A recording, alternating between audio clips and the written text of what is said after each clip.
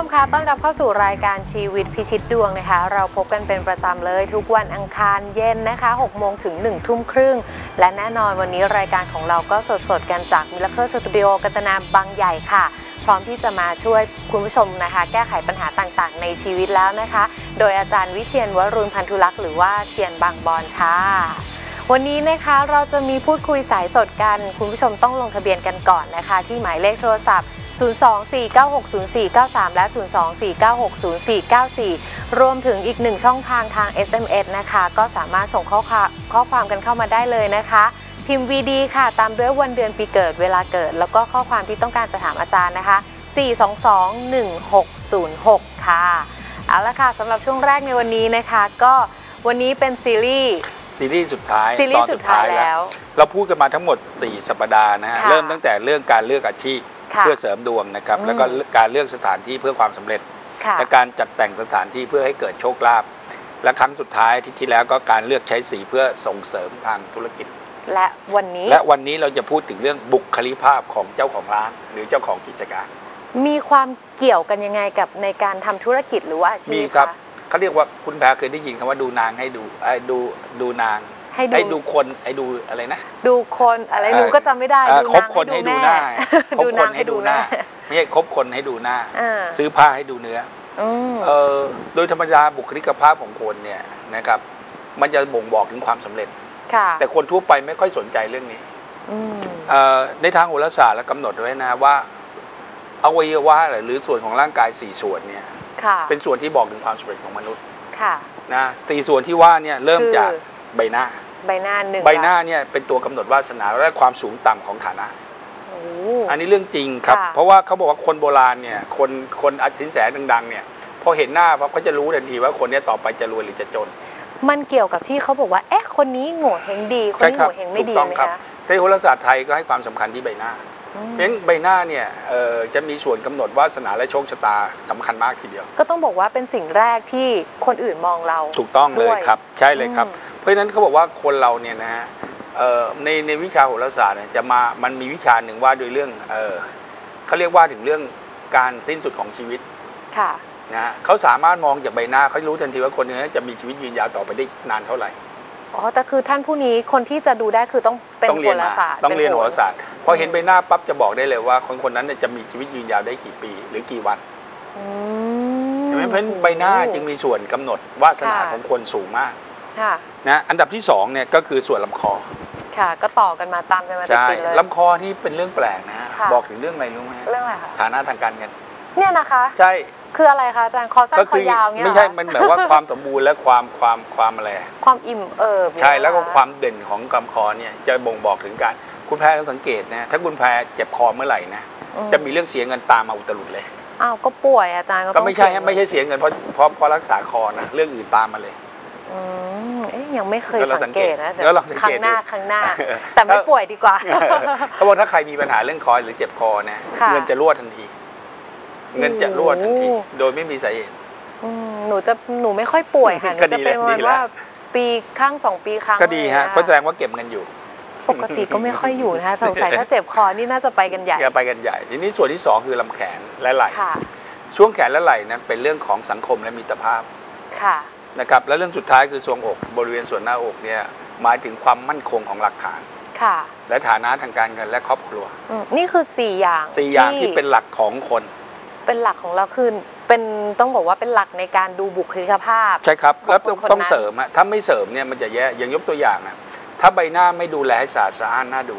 อืมจะเป็นคนอาภัพวาสนาทำยังไงก็ไม่ก้าวหน้าทำอะไรก็ไม่รุ่งเรืองมที่สำคัญก็คือว่าจะทำให้ป่วยง่าย ค่ะนั่นแหละเห็นไหมฮะเพราะฉะนั้นเพราะฉะนั้นคนโบราณเนี่ยเขาจะกำหนดไว้ในสวัสดิรักษาเลยตอนแรกเลยว่า เมื่อตื่นเช้าสิ่งที่คุณควรทำคือล้างหน้าให้สะอาดสะอ้านค่ะนะครับ แล้วก็สวดอ่าแล้วก็เสกมนต์เนี่ยใส่น้ำแล้วล้างหน้า เพื่อให้เกิดอืมสวัสดิมงคล อืเห็นไหมคนโบราณก็ถือมากครับ เขาทำกันมาช้านานช้านานแล้วครับ ที่สำคัญก็คือว่าก่อนออกจากบ้านต้องปะพรมน้ำหอม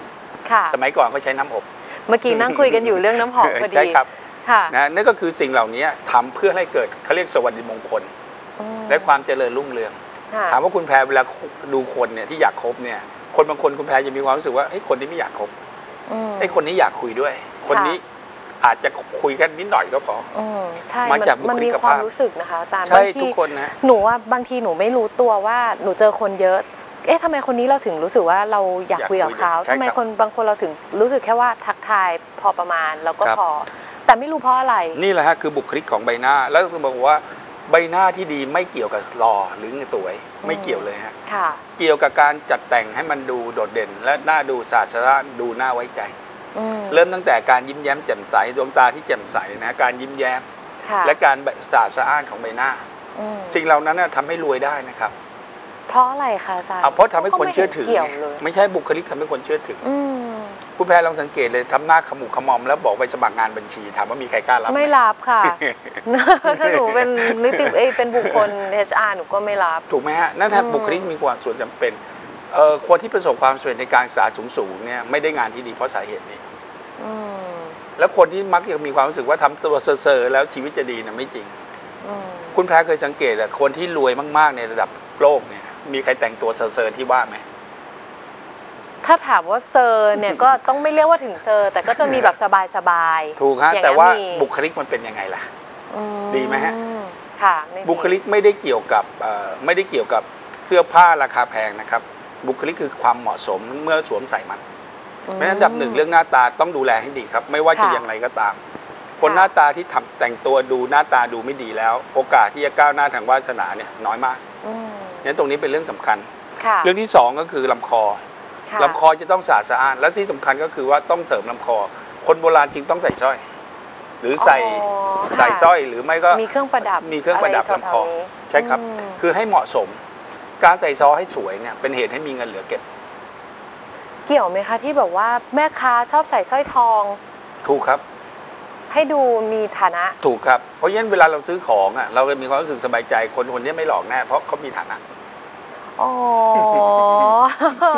อย่างนี้นี่เองนี่ๆครับอ่านะครับแล้วอันดับถัดมาก็คือมือค่ะ แขนช่วงแขนคนเอ่อช่วงแขนที่ดีเนี่ยอย่างผู้ชายเนี่ยก็มีเอ่อพวกเอ่ออะไรอะนาฬิกาดี ค่ะๆแต่ผู้หญิงเนี่ยก็จะใส่กำไรข้อมือ ใส่แหวน ใส่แหวนใส่อะไรก็แล้วแต่มเพื่อเพื่อให้มันดูมีราคาขึ้นมาในในในในตัวแขนของเรา ค่ะครับสิ่งเหล่านั้นเนี่ยจะทำให้มีความรู้สึกว่าคนอยากคุยด้วยอืม ทำให้เป็นที่นิยมชมชอบของคนนะครับ มันเป็นค่ะ เสน่ห์อย่างหนึ่ง อืม เพราะฉะนั้นเอ่อเวลาผมเดินผ่านเวลาพวกวัยรุ่นใส่หินสีประดับเดี๋ยวนี้ฮิตเนี่ยพวกหินสีต่างๆมองไหมคะผมว่าเขาว่าทำถูก อืมเพราะว่าสีพวกเนี้ย มันจะทำให้ช่วยเน้นสังคม แล้วก็เน้นให้มีความจุดเด่นในสังคมขึ้นมาอืมเพราะฉะนั้นสิ่งเหล่านั้นควรทำไม่ได้ห้ามค่ะแต่ถ้าใส่ทองนี่ต้องคิดให้หนักนะครับระวังนิดนึงนะคะเอ่อพวกพวกเครื่องทองเครื่องเพชรต้องระวังนิดนึงค่ะแต่เราไม่จำเป็นต้องใช้ของมีค่าหรอกเอาแปลว่าเครื่องประดับที่ช่วยส่งเสริมบุคลิกทำให้มือค่ะเราดูเด่นค่ะก็เพียงพอละอืมแล้วเรื่องสุดท้ายคือหน้าอกค่ะเอ่อคุณแพทย์สังเกตไหมคนที่มีฐานะเนี่ยเวลาออกงานเนี่ยมักจะใส่เครื่องเพชรอะไรที่อยู่ตรงทรวงอกเนี่ย มันจะยาวลงมานิดนึงถูกใช่ถูไหกมคะใช่ฮะมันจะยาวมาเป็นนิดเครื่นึองง เพชรที่เป็นแบบเครื่องว่าเพชรก็ได้เครื่องประดับเหมือนห้อยระยะถูกลงถูกมาสังเกตไหมฮะ เห็นค่ะ นั่นแหละคือเรื่องจริงนะครับ สิ่งเหล่านั้นจะทำให้มีลักษณะความมั่นคงทางฐานะ แต่คนรุ่นใหม่ที่เป็นชาวบ้านเนี่ย ก็เพียงแค่ว่าเขาจะใส่อะไรอะห้อยพระแต่เป็นสร้อยทอง ค่ะและเป็นพระเครื่องที่ดูมีราคา อืมเท่ากับคุ้มตัวและยังแถมว่าส่งเสริมบุคลิกภาพค่ะ สี่ส่วนนี้ในร่างกายเนี่ยเป็นเรื่องสำคัญนะครับ ถ้าท่านผู้ชมเนี่ย ไม่ทำให้ดีนะ ความค่ะก้าวหน้ายากเหมือนกันอืมนะและที่สำคัญที่สุดก็คือว่าเมื่อแต่งสี่ส่วนนี้ดีแล้ว ต้องใส่ค่ะเสื้อผ้าเนี่ย ให้เหมาะสมกับเครื่องประดับด้วยค่ะมันจะเป็นการส่งเสริม ถ้าสมมติแต่งตัวไม่เหมาะสมเนี่ยไอ้สี่ส่วนนั้นก็หมองไปด้วย อืมก็เหมือนที่อาจารย์บอกว่าไม่ได้เน้นเรื่องของราคา ถูกต้องครับนะคะ เอาความเหมาะสม เพราะว่ายกตัวอย่างง่ายๆ ลองดูสิขนาดคุณชมพู่ คุณพลอย คุณอ้าม ใส่เสื้อผ้าราคาหลักร้อยไม่ครักี่บบาททำไมเขาดูแบบโหดูดีล่ะ เพราะถูกเขาดูแลทุกอย่างใช่ครับ ให้ดีให้เหมาะสมหมด เอออมคือคือผมมีเพื่อนนะฐานะเขาทำธุรกิจดีมากนะค่ะเขาซื้อทองปลอมอะใส่ห้อยคอเส้นใหญ่เลย ทุกคนอืมไม่เชื่อว่าของปลอม อืมเนี่ยนะเขาไม่เชื่อแต่จริงๆคือปลอมแท้ๆเลย คือเป็นค่ะเป็นสพื่แตอนเลก็สบชุอบกทองใช่ไหมคะใช่ครับ แต่ทุกคนไม่เชื่อดีว่าตรงไงนี้นะเพราะว่าเขาอ่ามมองว่าเขาเป็นคนมีฐานะ ค่ะ แล้วคนมีฐานะเนี่ยเวลาคุยธุรกิจก็ดีเนี่ยหรือเราติดต่อธุรกิจคนมีความเชื่อมั่นมีความเชื่อถือค่ะเพราะฉะนั้นบุคลิกภาพเนี่ยจะส่งผลให้มีความเชื่อมั่น ความน่าเชื่อถืออืมและเป็นเสน่ห์อย่างหนึ่ง เพราะฉะนั้นค่ะการดูแลการแต่งกายที่ดี แล้วก็การเสริมสร้างบุคลิกภาพที่ดีเนี่ยจะส่งเสริมให้ความสำเร็จเพิ่มสูงขึ้นอืไม่ใช่ดวงอย่างเดียวนะครับ ตัวคุณค่ะก็ต้องทำด้วยอืมและสิ่งที่ใช่จำเป็นทั้งหมดที่เราบอกมา 4 ตอนเนี่ยตอนสุดท้ายเนี่ยเราสำคัญค่ เพราะว่าเจ้าของร้านไม่น่าเชื่อถือแล้ว ค่ะ ร้านก็ไม่มีประโยชน์ อืมเจ้าของร้านเนี่ยต้องดูดีนิดใช่นึครับ งนะคะ เพราะฉะนั้นแม่ค้าที่เขาบอกว่าแต่งตัวที่มันดูเอาคุณแพรลองนึกภาพเนี่ยเวลาคุณแพรจะไปทานร้านข้าวแกงเนี่ยถ้าแม่ค้าแต่งตัวสะอาดสะอ้านโพกผ้าผมคลุมอย่างดีเนี่ย รู้ถึสึงกแม้สว่า บายใจ นะถึงแม้ว่าอาหารจะไม่อร่อยก็มีความรู้สึกกินแล้วสบายใจนะสบายใจค่ะ แต่แม่ค้าที่ฝีมือดีแต่ว่ามอมแมมเลยเนี่ยอืม ถึงแม้ว่าจะอร่อยเราก็ทำใจลำบากที่จะเข้าไปรับประทานมันถูกไหมฮะก็อาจจะมีบ้างนิดนึงสำหรับใช่แพรเชื่อว่าหลายคนค่อนข้างใส่ใจรายละเอียดเล็กน้อยพวกนี้นะใช่คะครับจะไปที่ไหนเราดูเจ้าของร้านดูบรรยากาศร้านรวมถึงความสะอาดในร้าน ถูกต้องเลย หลาย ๆ อย่างรวมกัน คือถ้าเราจะร้านตกแต่งดีสวยงามอย่างเดียวไม่ได้ไม่ได้ถ้าคุณเป็นเจ้าของร้านลงมาทำงานดูแลลูกค้าด้วยคุณก็ต้องดูดีด้วยใช่ครับเพราะฉะนั้นคุณแพรเชื่อไหมในประเทศเอ่อที่เจริญแล้วเนี่ย ค่ะ ช่างซ่อมรถเนี่ยต้องใส่เสื้อผ้าสีขาวเพราะว่าอะไรคะอ่าเพราะเขาต้องการดูว่าการทำงานจะต้องสะอาดและเรียบร้อย ไม่ใช่เลอะเทอะ อืม การดูแลรถจะต้องดูแลรถให้ให้ดี แม้แต่การซ่อมก็ไม่ใช่ว่าซ่อมค่ะแล้วเลอะเทอะไม่ได้มั่วนะคือซ่อมอย่างมีระบบ การซ่อมรถอย่างมีคุณภาพและเป็นขั้นเป็นตอนเนี่ยจะไม่ทำให้มือเขาเลอะมาก และจะไม่ไม่ทำให้เสื้อผ้าเขาเลอะเทอะด้วยเพราะฉะนั้นอืตามอู่รถเต้ในงแบบต่างประเทศโปเนี่รยเฟชชั่นอล ใช่ครับเขาจะมองเห็นนี้ แต่ถ้าช่างที่เขาไปแล้วซ่อมรถแล้วออกมาเขอะขะเลอะเทอะนะเรามีความรู้สึกโอ้ช่างนี้ลุยงานในต่างประเทศก็ถือว่าแย่มากเป็นเรื่องแปลกนะก็ถือว่าค่ะคุณมั่วนี่เพราะฉะนั้นการถอดเครื่องจักรหรือเครื่องยนต์แต่ละชิ้นส่วนมันมีขั้นตอน ถ้าคุณรู้จริงคุณมีทักษะมันจะถอดอย่างเป็นระบบ โดยที่ค่ะ ตัวคุณไม่ต้องเลอะเทอะอืมแต่ถ้าคุณเลอะเทอะนไปนี้คลุกแบบนี้หเพิ่งรู้แล้วคุณทำงานไม่มีระเบียบ ค่ะ นั่นแหละเป็นแบบนั้นจริงๆเพราะฉะนั้นบุคลิกภาพจึงมีความสำคัญในการกำหนดชีวิต และการหมดความสำเร็จของเราด้วย ค่ะ เรื่องนี้สำคัญมากนะครับ เสื้อผ้าเครื่องแต่งกาย การใส่การใส่เอ่อเครื่องประดับประดับเวลาแขนลำคอค่ะการดูแลทรงผมและใบหน้า เป็นค่ะสิ่งสำคัญในการที่จะหาความสำเร็จของเรามไอ้นี้ต้องฝากไว้เลยครับว่าเป็นเรื่องสำคัญที่สุดในจำนวนห้าอาจารย์ตอน